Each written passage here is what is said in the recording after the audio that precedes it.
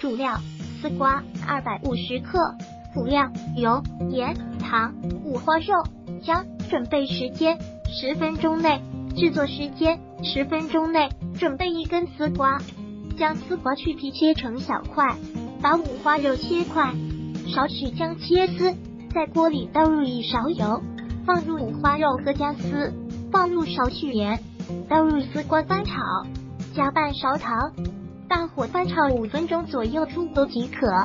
烹饪技巧：尽量不要放酱油，颜色太深。味道也不太好。如果喜欢本视频，请分享并订阅本频道，访问 T T News 点 X Y Z 获取更多相关资讯。